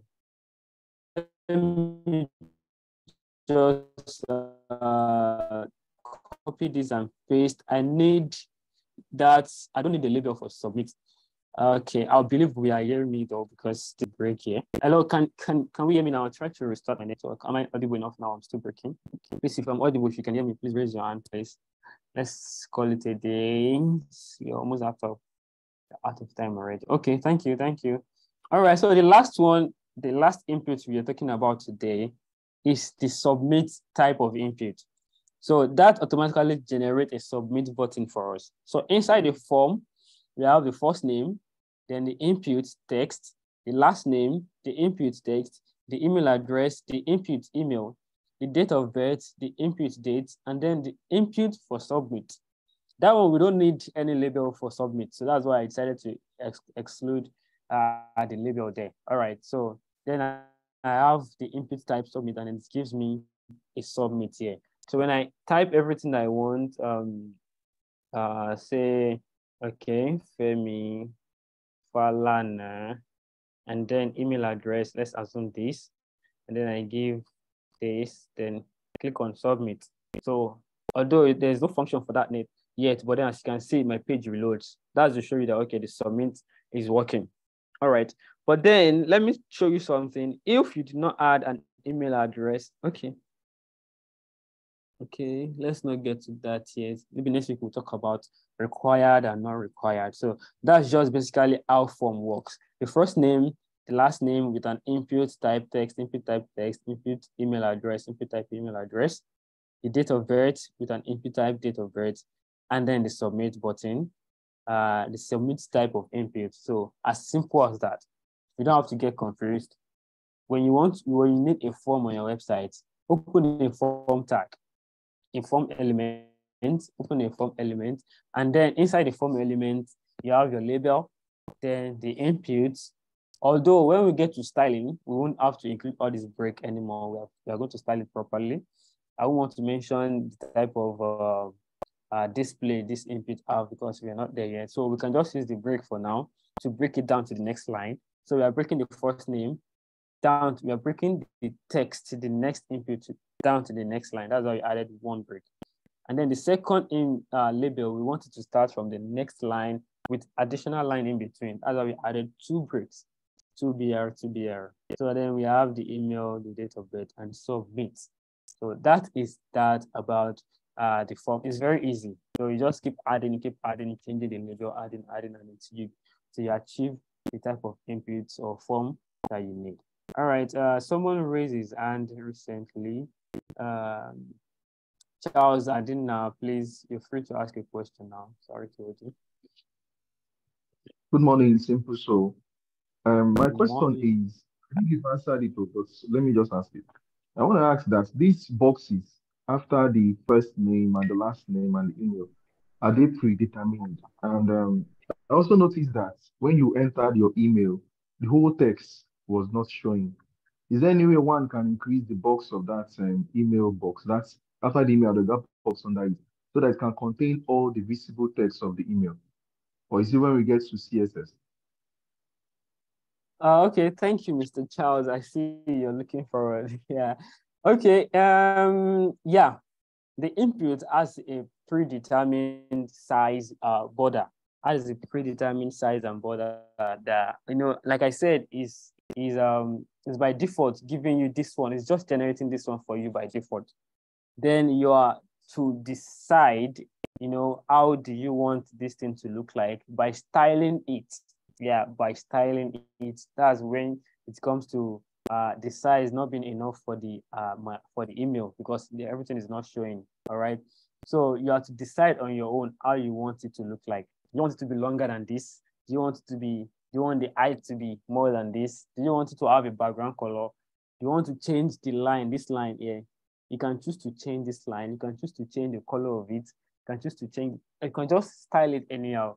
But by default, the the the generated one by HTML for you by default is this type, all right? And then uh, it is left for you to style it however you want to do. If you notice the date of birth, it's not even as long as all of this, okay? Because it is a generated one for you, but it's just generating it for you, helping you out to know, okay, this is an input, all right? And then you now choose to decide how you want it to look like. For now, to make this visible, is going to be styling. All right, and then we are not going to style it now. I'm sorry, Charles. So we get to that very, very soon. It's not going to be long. Okay, so uh, that is that. For now, just manage, just manage the input. All right, you can enter it and then go forward to see what the other uh, content is. Okay, uh, Sammy, am I, did I answer your question, Charles? Yes, yes, yes, thank you. You're welcome, sir. Uh, Sammy Obuma, question, yes, sir. Okay, sir, you've answered one of my questions. All right, the second I one. want to ask similar thing, but the next one is this submit. That means when you click submit, it it just refresh. This means it's working. So to add a link to this submit, that as we we use HTML, I didn't, I didn't get that, please. I didn't get the submit question. the submit. why when you and that's when you click the submit, your page just your page refresh. Okay, yes. Uh, okay, that means if one of submit this, want to submit this form, so you, you have to use HTML underneath that and submit. And you can-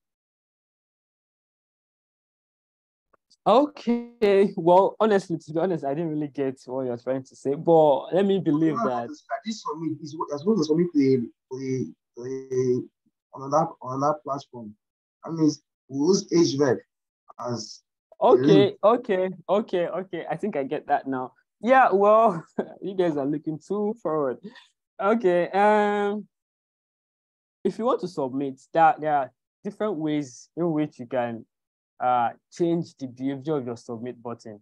Okay, there are different ways to change the behavior of your submit button, but I don't really want to go into that now. For now, what the submit is doing is just submitting. It's just, you know, it's a default behavior for submit to when you click on it to refresh the page so that you you you know that okay, this my uh, form has been submitted. There are things to check. There are other things to check when submitting. At some point, you need to check if all of these values have been imputed because some persons will just come to your website and then just click submit and then your, your page will start loading. But then you have to check that, okay, is this in field? Is this in field? Is this in field? So, but for now, we don't want to go to that yet because it's a little bit forward. Okay. What the submit button is now. It's not even Button not even looking at these guys at all. He's just doing his own thing because every submit button will have to reload or submit something and then reload the page. Okay, that's just how submit button so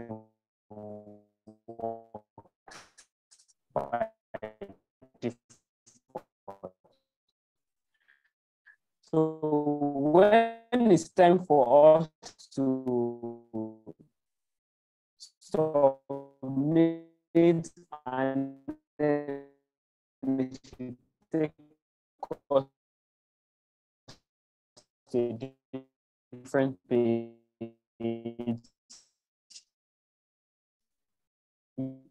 yeah, we are going to do that href stuff and then we link it to a different page and take uh, our input or display links when we get there. Thank you very much, Sami. Did I answer your question? Yes.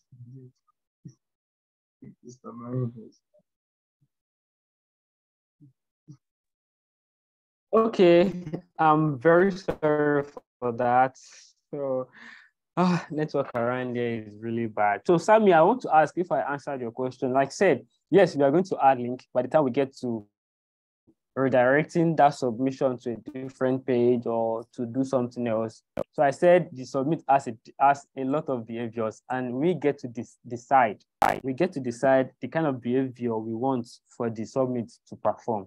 Okay, so um, yeah, I believe that answers that. So moving forward, very, very soon, it's not going to be long.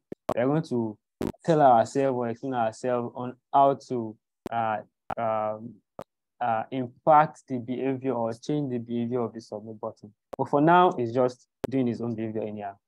Okay, so uh, if I answer that, the last person, I see another person's hand was raised. Chidel, Chidel, can you hear me? Yes, I can hear you. Okay, please, your question. Um, at that time you were doing that A tag, that uh, anchor tag, you wrote target slash underscore blank, but when you were explaining it, your your network was bad, so I could not grab what you were trying to like explain. That was why whether you can just say. Okay. Okay, you mean this blank here, right? You can see my screen. Yeah, if you can see my screen, yeah, this is the blank. Okay, like Mr. Gochuk said, we have absolute URL and then relative URL. Okay, so the URL, a URL is absolute when it is an external link. I mean, a URL is a link. Let's not get that uh, confused. A URL is a link. Okay, so uh, when, sorry, it's an absolute URL when it is external, when you copy it from somewhere. For example, I'm on Facebook and Facebook from Facebook, I want to be able to click on this link to take me to Twitter, for example. So that Twitter on that Facebook link is uh, on that Facebook page is an absolute URL. And then I wouldn't want Twitter to now override my Facebook page. I want it to open on a different page so that I can see it there. So that's the, that's the reason why we needed to add at uh, underscore blank. That's the reason why we needed to add underscore blank. For example, like we have here, my page, my cart page, if I want to open a Facebook or a google.com uh, page on my website here, if I click on this thing now, because I added the target blank, okay, because I added this, it's going to take me to another page. It will just automatically open another page on my browser. Is an example. Click on it and you can see automatically it opens a different page and then open up the google.com. My page is still there. My cat app page is still there. This is it. And then this is the Google that was just open. So that's the importance. That's why we need um, link. We don't need the target. We can just, since a relative link is a link within our website, right, we don't need the target or whatever. Everything is going to be happening within our website. Just the anchor tag. And then let me show you, let me remove this tag first, this target, and then let me save. So if I should open that link again, it's going to override this my page instead of opening it again, instead of opening it somewhere else. As you can see, it overrides my page. Now my card page Your screen is angry. Your screen is angry. So the best way within my website and I can just uh, remove the target and to override my page. So that's just the difference between the Okay. Can you see my screen now? Yes.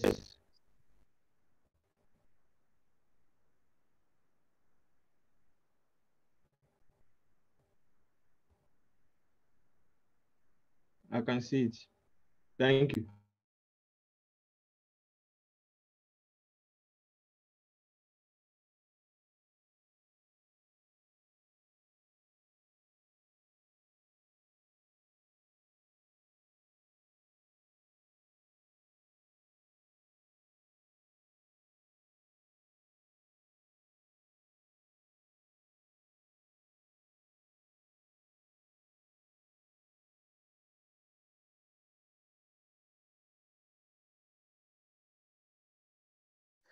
Oh god, my network is really dealing with me. Very, very sorry, guys. Okay, so um, I believe that explains that uh, answers your question, Sha. So the target is to take us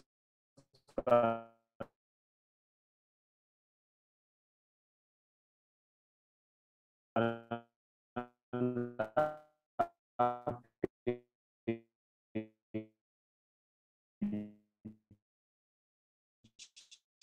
we don't want to write a page while uh, target, you don't have to use the target. So um, I think that will wrap that up for today. So uh, thank you very much for joining us. I would like to take questions, like take questions, take questions. If you have questions, please raise your hand so we can call it a day. We are already out of time. Questions, questions, please. Okay, Charles, number one. Okay. I think it's only Charles. Thank you, guys. I believe we all understand. And all right, Charles Adina, please let's just answer. Uh, ask a question. Okay, my question is actually unrelated to but let me just ask. I saw one of my friends' Facebook page recently, and it was showing pink. like the normal web page is showing pink color. So I was curious. I want to know, is there any way somebody can edit somebody's or somebody, somebody else's page, you know, to suit his own um space, something like that? You my Okay. question, Yes, yes, I get you. By the by the pink, you mean you mean like the theme of the Facebook, right? Is the, is it the yes, theme or the text? The text, Eh. everything, some the thing is in different styles. Okay, yeah, I think yeah, there's a feature on Facebook where you can style uh, uh the the interface, you know, the interface of how you want it to look like. It is not you cannot do it from your own end. It's not like a code you write and then you you integrate it to the website. It's something they provided. It's a feature of Facebook provided by itself, so that user, if you note, if you're using Facebook Messenger, you can decide on the background you want for one person. You can decide on the font you want to have on my chat and all of that. So the same thing is applicable on uh, the platform that you opened. So there's a feature where you get to decide how you want it to look like. Mostly these days, people, uh, Facebook or website owners want users to be able to choose the way they want to interact with their website. Okay, so they want you to have the the authority of changing the looks of the website, the color, and all of those. That's just the feature Facebook provided. So it's not something you can. No, you can't. You, you don't have the access to the to the database or the code base where you can now change the colors. No, you can't. It's just a feature they provided for you. Oh, okay, I get that now. Thank you. You're welcome, sir. All right. So, uh, well, thank you very much, guys, for joining us. Before we call it a day, I'll ask Mr. Akininola Akimobola if he has something to say. So you can just say it now. Tell us what you want to tell us, boss. Well, I don't really have anything much to say. Like, as I always say, you can't get everything all in class. You have to go back, watch the YouTube video again, get other resources from anywhere, anywhere possible. No one is an island of, an island of knowledge. Just have to do go for it and, and be, be intentional. If you are not intentional, you can't push through this form. You have to be intentional. So we meet we meet on Discord. I'm always on this Discord. Okay, thank you, boss. Thank you, mentor. Thank you, Mr. Akimbobola. All right, so um, let's get ready for another task. I uh, we are going to be having another task today. I know we've all completed our previous tasks, and then we don't have a means to submit yet. That will be made available very very soon. I'm very sorry for the delay. So we are working on a platform where we are all going to. It's going to make the submission very easy for us. All right, so we are working on that platform, and it's going to be available very very soon. So, and also I would like to say if we, uh, yeah, yeah, let's just, let's just calm down and then get ready for the task that will come. I'll drop the task, uh, on or before 2 p.m. today. All right, so you can just open it. If you have any question that is not clear, you can always reach out to the mentors or myself. And then uh, if you have reaction, something you don't want, you don't like, just feel free to reach out to us and then we'll address that.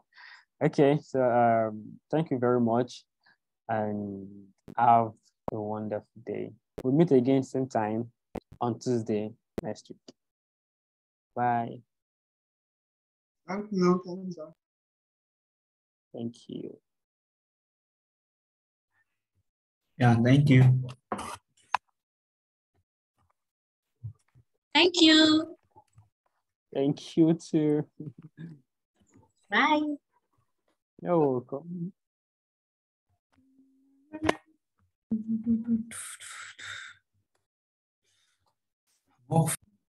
Thank you, sir. You're welcome.